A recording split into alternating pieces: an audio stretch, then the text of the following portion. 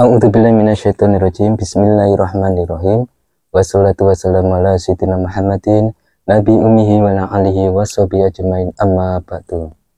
Alhamdulillah kepada saudara semua yang dirahmati oleh Allah yang selalu dikaruniai anugerah-anugerah yang luar biasa dan kepada saudara semua di mana pun berada. Semoga diberikan keberkahan keluar biasaan dalam kehidupan sehari-harinya. Amin amin Ya Robbal Alamin. Nah, para saudaraku, di ijazahan hari ini, saya ingin bertanya. Apakah saudara pernah merasa terganggu oleh niat jahat orang lain yang ingin mencelakakan saudara? Apakah saudara pernah mengalami hal-hal aneh yang tidak bisa dijelaskan secara logis? Ya, seperti kena teluh, tenun, guna-guna, sirup, hipnotis, santet, atau serangan nyata gaib lainnya. Tiba-tiba terasa tubuh gatal, tiba-tiba sekeluarga sakit-sakitan, tiba-tiba usaha yang bertahun-tahun sudah berjalan, tiba-tiba beberapa minggu ini macet total. Dan bawaan di rumah itu sering kali males ya para saudaraku, sering kali emosi tidak seperti hari-hari seperti biasanya. Jika saudara peka atau merasakan hal ini, ya, kita perlu mengetahui apa yang terjadi. Jangan dibiarkan, semakin dibiarkan atau masa bodoh, maka lama-lama akan semakin numpuk problem dan energi negatif tersebut menghinggapi keluarga saudara. Nah, insya Allah dengan ilmu tersebut saudara akan mendapatkan solusi dari segala masalah yang saudara hadapi. Nah, segala niat jahat ya, manusia, makhluk gaib, dan lain sebagainya akan kalis menyingkir ya, dan saudara akan sembuh dari segala serangan gaib maupun non gaib. Nah, karena itu para saudaraku, amalan ini yang memiliki kekuatan luar biasa Selain melindungi diri dari berbagai macam bahaya para saudaraku ya, asma ini juga berfungsi untuk memantulkan segala niat jahat makhluk Allah yang ditujukan kepada saudara. Baik yang berupa teluh, santet, ya, dan lain sebagainya. Kesemuanya akan mantul, akan kembali ya, seperti kita pingpong di tembok. Senjata makan tuan akan kembali kepada sang pengirimnya. Nah, dan hal ini tidak sebanding dengan besar perbuatan dan niat jahatnya. Untuk itu para saudaraku, tidak hanya itu saja, ilmu ini juga bisa membantu saudara mendapatkan uang gaib dengan mudah dan berlimpah. Ya, dengan mengamalkan asma dompet tebal ini, maka kehidupan saudara akan selalu mendapatkan uang di mana saja. Entah dapat rezeki datang tiba-tiba atau lainnya uang akan terus masuk ke dalam dompet saudara dan rekening tentunya ya. Sangat mudah setiap hari terus berlipat ganda. Nah, bagaimanakah para saudaraku cara mengamalkan asma ini ya? Sangatlah mudah.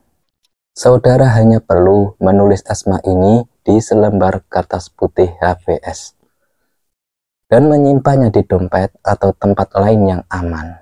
Dan ini adalah asmanya yaitu Bismillahirrahmanirrahim. Teguh miluput lahwati ma'a khawati Bismillahirrahmanirrahim. Teguh miluput lahwati ma'a khawati Bismillahirrahmanirrahim. Tarik napas saudara. Ucapkan hajat saudara seketika itu juga. Lalu hembuskan napas saudara pelan-pelan Amalan ini dibaca sebanyak 21 kali ya. Bisteguh miluput lahwati ma'a khawati Bismillahirrahmanirrahim. Tarik nafas sebutkan hajat saudara dan hembuskan nafas saudara pelan-pelan. Ulangi sebanyak 21 kali ya para saudaraku. Lalu kita lanjutkan dengan membaca Yahu, Yahu, Yahu, Ya Allah. Semoga setiap hari uang berlimpah masuk ke dalam dompet dan rekeningku yang terus berlipat ganda. Khobul hajat, khobul hajat, amin.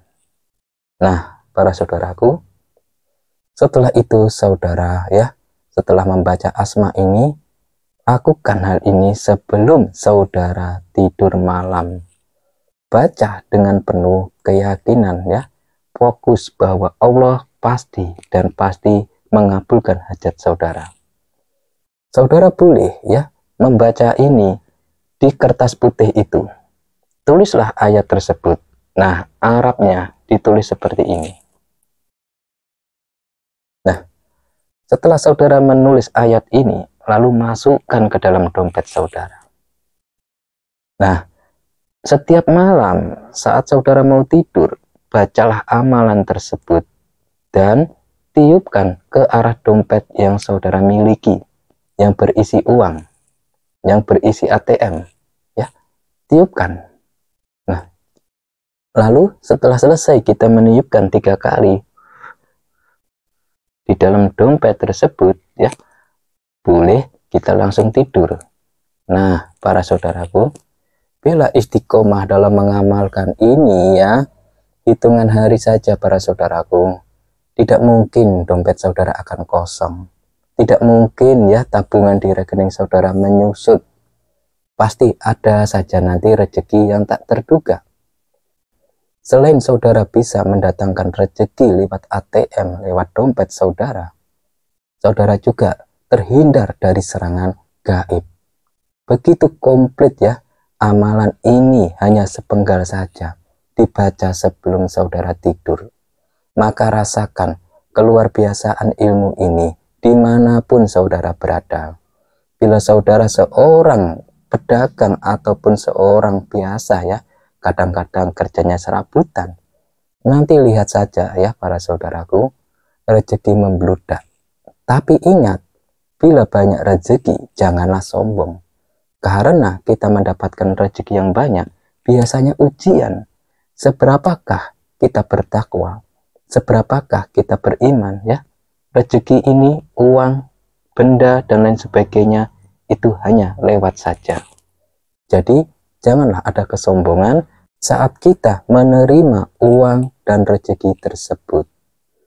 Nah, para saudaraku, jangan lupa sodakohkan ya sebagian rezeki kita kepada orang yang membutuhkan. Karena ilmu ini cepat mendatangkan harta. Jadi siap-siap mental saudara. Amin, amin ya robbal alamin.